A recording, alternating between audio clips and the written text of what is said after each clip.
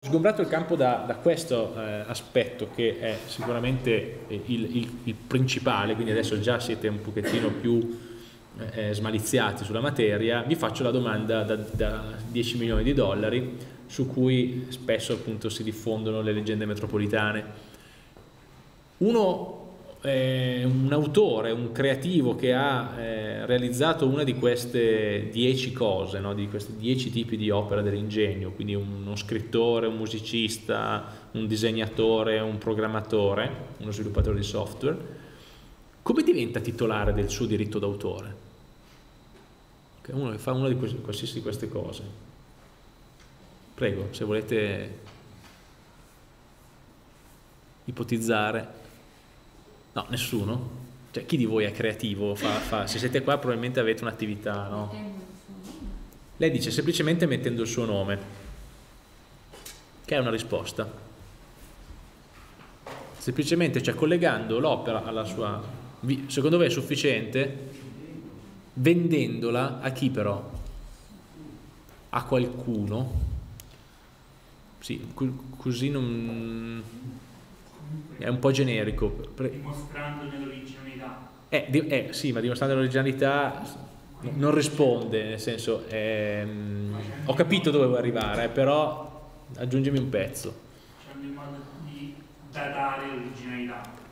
Ok, allora, quindi sostanzialmente, secondo te il diritto d'autore scatta nel momento in cui eh, c'è una, una datazione certa, c'è un procedimento che dà una data, una data certa, questo mi, mi, mi, stai dicendo. Altre ipotesi, io le raccolgo così, tipo brainstorming, eh, non, non, abbiate paura. Ecco, allora, ok, abbiamo già aggiunto un pezzo. La signora dice semplicemente mettendo il mio nome. Eh, voi dite non solo mettendo il mio nome ma anche rendendola pubblica, lui ha detto vendendola eh, ok e lui dice sostanzialmente applicandoci una data certa.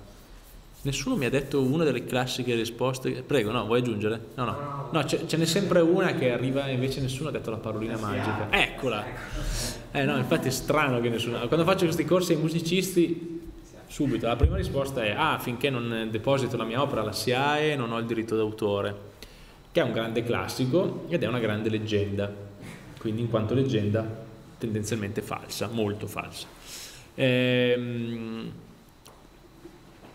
ah, in realtà cioè, nessuno di, di, di, voi ha sbagliato, ma nessuno mi ha dato la risposta quella, quella giusta giusta. La risposta giusta giusta è nell'articolo 6, cioè sostanzialmente è la semplice creazione dell'opera, quindi forse ad un livello ancora, cioè siamo ancora più a monte rispetto a quello che avete pensato voi, cioè anche, anche solo metterci il nome, in realtà anche un'opera anonima è tutelata dal diritto d'autore. Cioè io arrivo su un blog, su, scusate non su un blog, sul sito, un sito web di informazione, no? e l'ho visto ieri, ho letto un articolo su repubblica.it, non c'era il nome dell'autore. Ogni tanto qualche articolo non viene firmato. Di chi è il diritto d'autore?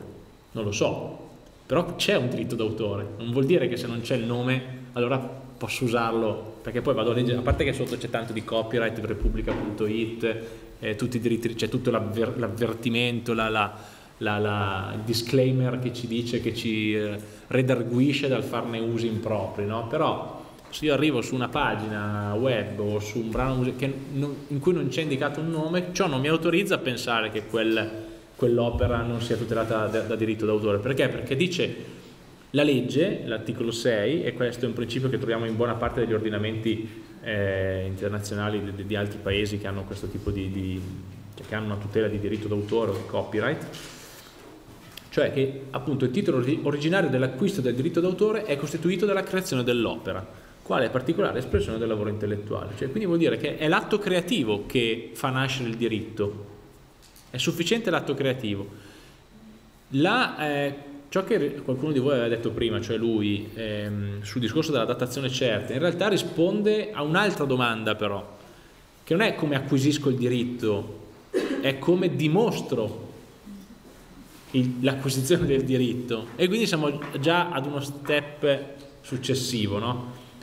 per, la, per, la, questione dell'acquisizione la legge dice che è, su, è sufficiente l'atto creativo ovviamente se c'è quel minimo di creatività quindi deve essere un vero atto creativo e non una semplice riproduzione di qualcosa di preesistente.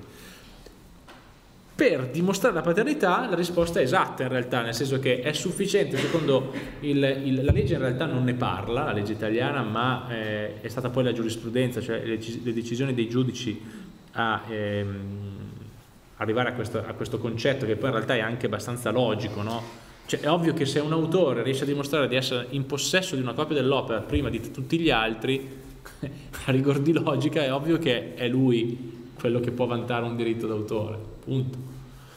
Infatti questo si dice nel, nel, nella, nella nostra prassi giuridica, che è sufficiente riuscire a produrre una prova di anteriorità temporale, possibilmente con data certa. Vabbè, noi in Italia abbiamo un po' questa, eh, insomma, questo legame abbastanza eh, stretto con la prova documentale. Il nostro diritto processuale si basa molto sulla prova documentale, quindi riuscire ad avere un documento che sia eh, ehm, datato con quella che la legge italiana chiama data certa, cioè una data attribuita un, ad esempio attraverso un meccanismo che eh, passa eh, da, da, dal vaglio di un ente pubblico, no? per cui c'è fede pubblica su quella data, eh, ecco, quella è la, è la, massima prova che possiamo produrre, ma in realtà non è l'unica, nel senso che la, l'anteriorità temporale la possiamo dimostrare in tanti modi.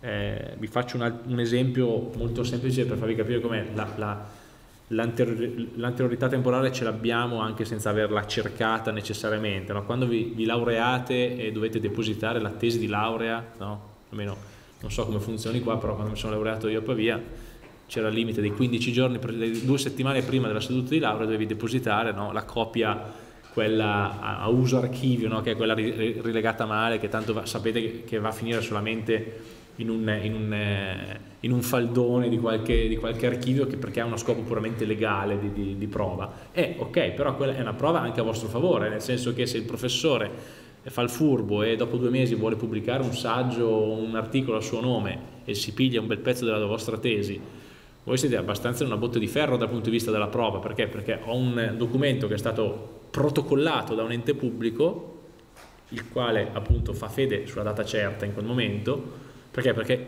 il funzionario della, della segreteria studenti che ha preso in deposito il, ehm, il testo della tesi l'ha appunto protocollato e vi ha rilasciato tra l'altro come succedeva all'epoca, adesso si fa molto in digitale, le università si stanno passando al digitale quindi è diverso, però a me avevano rilasciato proprio un tagliandino cartaceo con il timbro e la, e la firma del tizio della, della segreteria studenti in cui si diceva che Simona Riprandi aveva depositato in data tot, eh, dicembre del 2003 la sua tesi di laurea e quindi aveva una prova di data certa senza necessariamente aver pensato al discorso del diritto d'autore.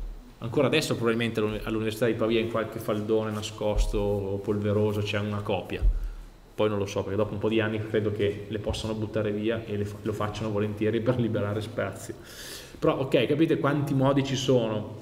Adesso ad esempio col passaggio al digitale tutto diventa molto più semplice e molto più anche economico, no? nel senso che non devo più pagare qualcuno, cioè una volta c'era il metodo della raccomandata che ci si autospediva col timbro postale, perché il timbro postale faceva data certa, però poi una sentenza della Cassazione aveva detto che il timbro postale faceva data certa solo se era apposto sul documento e non sulla confezione del documento in cui c'era dentro il documento, c'era tutta una però adesso in realtà non ha molto senso parlare di, parlare di queste cose perché? Perché siamo arrivati nell'era del, del, appunto, del digitale per cui ad esempio eh, la, farsi um, salvare un file con una firma digitale, quando dico firma digitale intendo la firma digitale quella con smart card o chiavetta, quella che ad esempio in, in Regione Lombardia è associata anche alla tessera, alla tessera sanitaria, oppure ad esempio mandarsi una PEC no? la, la, famosa PEC posta, posta, elettronica certificata, altro non è che una normale eh, eh posta elettronica che però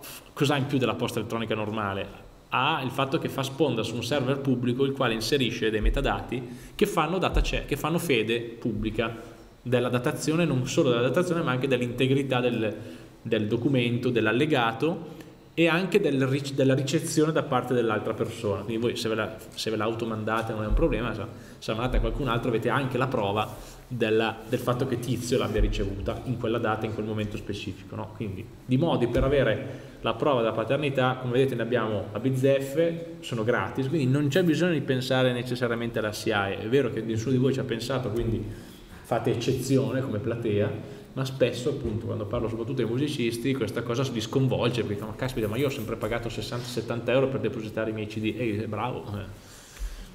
nel senso una volta si faceva perché una volta anche lì SIAI perché lo fa? Perché anche SIAI oltre ad essere un'associazione di autori ha anche un ruolo di ente pubblico di ente che fa un controllo quindi fa fede pubblica. Certo un deposito presso SIAE fa fede pubblica ma è, è veramente necessario? Poi uno magari ha la fortuna di avere lo zio che fa il notaio no? E questo gli mette i timbri gratis su qualsiasi cosa. Beh, certo, anche quello è, anzi, quello è veramente un documento che fa fede pubblica di fronte, perché, perché è il massimo del, dire, del pubblico ufficiale per l'ordinamento italiano, è proprio il notaio, però non, vi invito a non ossessionarvi tanto con questa cosa, nel senso che basta avere una prova di anteriorità. Poi, come vi ho detto, modi per dimostrare la, la, l'anteriorità ne abbiamo molti, ad esempio anche la prova testimoniale. Se qualcuno sbobinasse questa mia conferenza e volesse fare un saggio spacciandola per sua, io avrei 30 persone che possono venire eh, ipoteticamente di fronte a un giudice e confermare che, il 24 di novembre l'ho fatta, queste cose le ho dette io, no? È, una, è un'ipotesi fantascientifica, ovviamente queste cose non succedono veramente nei tribunali, però per dirvi che la, la la prova di data certa la possiamo ottenere in vari, in vari, modi senza dover necessariamente passare da enti che ci fanno pagare e facciano quel lavoro in modo appunto sistematico e, e professionale. Ok, se ci sono dubbi su questa parte, come avete capito, no, questa parte oltre ad essere introduttiva aveva un po' lo scopo di togliere quelle, quelle leggende metropolitane, quegli equivoci in cui io spesso mi, mi sono, mi sono con cui spesso mi sono scontrato nei forum o anche nelle attività di formazione.